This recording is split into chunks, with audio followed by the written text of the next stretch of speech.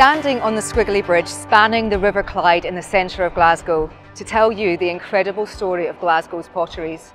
Did you know that Glasgow was a major producer and exporter of ceramics from the 1750s up until the 1980s? And it all started here in 1748 behind me on the banks of the Clyde with the establishment of Delftfield Pottery by James Watt. This marked the start of Glasgow's pottery industry the Clyde and later the canal and railway networks were fundamental to the rapid growth and expansion of Glasgow's pottery industry, providing vital transport networks for the export trade. And Glasgow potteries produce pots for a truly global market. The list of export countries is extraordinary, and I'll take a deep breath now. With pottery exported to Canada, America, Cuba, the West Indies, Brazil, Chile, Uruguay, Argentina, Nigeria, Kenya, South Africa, Sri Lanka, India, Myanmar, Malaysia, Brunei, Singapore, Borneo, Indonesia, New Zealand and Australia, and closer to home, France, Denmark, Norway and Ireland. And during the latter part of the 19th century, Glasgow potteries became major rivals to the famous Staffordshire potteries.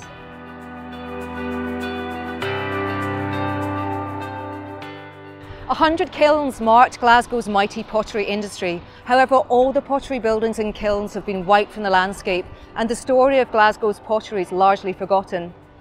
This film aims to briefly tell the story of four of Glasgow's 15 industrial potteries exporting their ware across the globe and reconnect this pottery story to the people of Glasgow and visitors to the city.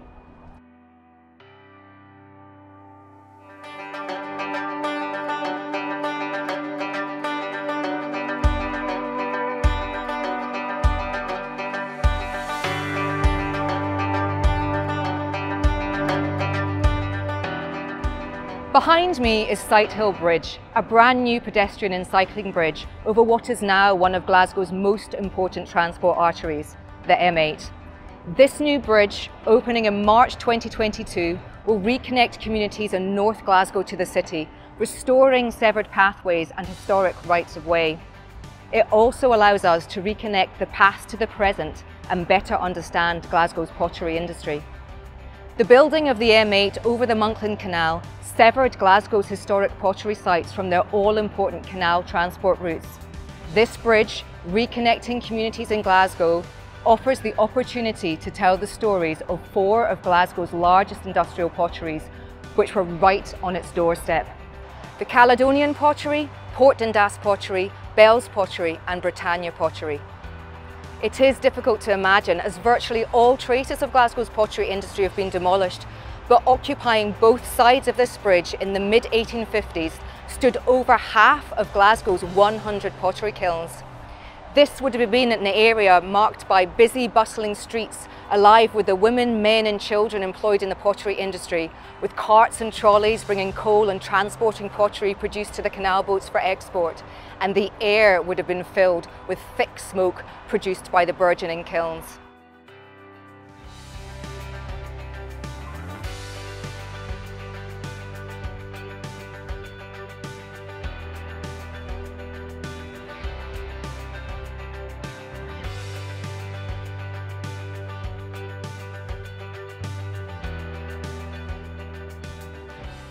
This is the site of Port Dundas Pottery, one of Glasgow's largest industrial potteries, built next to what was the junction of the Forth and Clyde Canal and the Monkland Canal. Port Dundas Pottery had 17 kilns and four chimneys, making it one of the largest of Glasgow's potteries. It was established in 1828 and produced stoneware beer bottles, jam jars and whisky flagons amongst other products, and initially salt glazed and then later Bristol glazed their ware. Port Dundas exported huge amounts of stoneware across the world to countries like Argentina, Cuba, Australia and Norway. It closed in the mid-1920s and was one of the last of Glasgow's pottery buildings still standing.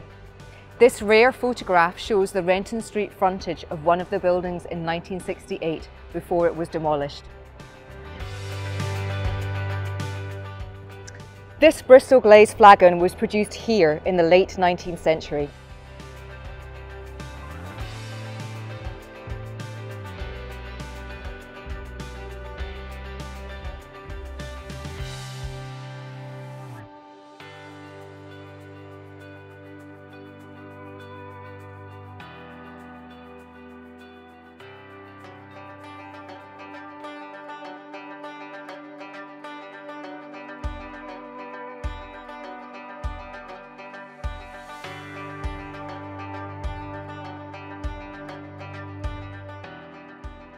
Behind me, right next to the south entrance of the new bridge, stood the mighty bells or Glasgow Pottery Factory, which held prize position right up against the banks of the Monkland Canal.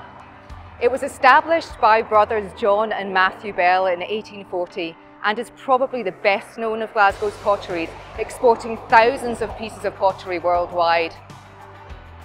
It boasted 18 kilns and employed hundreds of people. The Bell brothers even purpose-built tenements on Kyle Street to house their workers. Bells researched traditional symbols, specific cultural motifs and exotic fruits to entice the buyers for their transferware plates. The factory shut its doors in 1912 and the last evidence of this pottery giant was demolished in the 1990s. This transferware plate is called Buah Nanas and is decorated with pineapples and culturally desirable jewel colours and was produced here in the 1880s specifically for the Southeast Asian markets.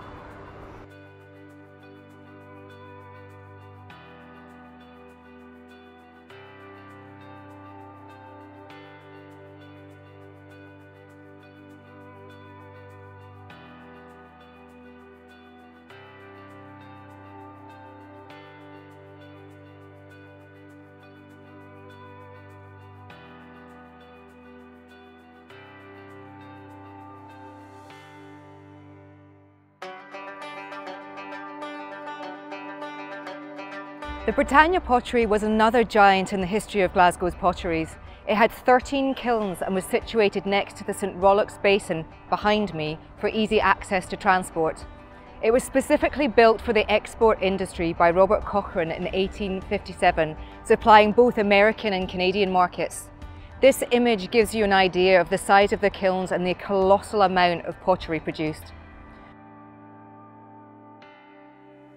The pottery initially produced white granite ware which was exceptionally strong and able to withstand travel across the vast American prairies and over the Rocky Mountains. However, it soon had its eye on other markets and like Bell's, specifically targeted the Southeast Asian markets producing transfer ware and sponge ware for Myanmar, Singapore, Sri Lanka and Indonesia. Britannia pottery closed in 1839 and was subsequently demolished.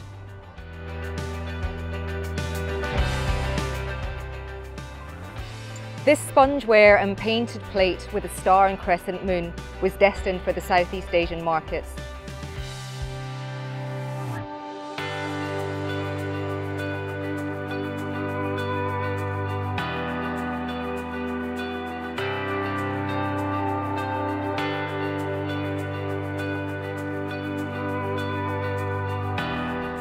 Caledonian pottery was established here in Garngad Hill, now Royston, on the north banks of the Monkland Canal in 1800.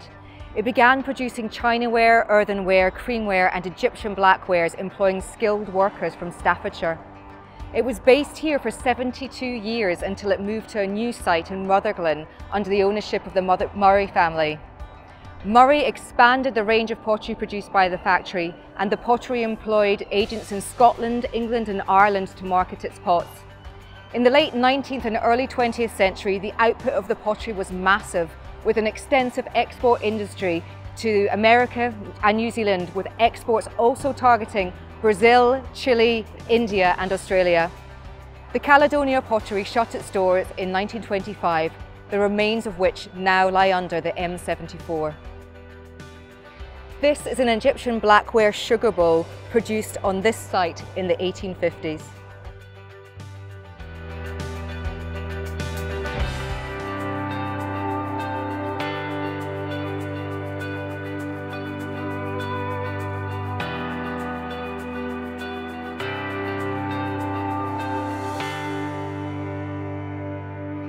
The story of Glasgow's pottery industry is extraordinary.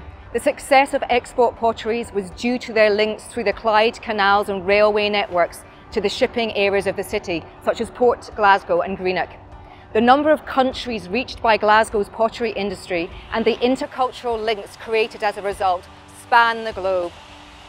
The building of this new bridge allows us to reconnect to this amazing story of entrepreneurship, craftsmanship and artistry and understand and reimagine Glasgow's mighty pottery industry.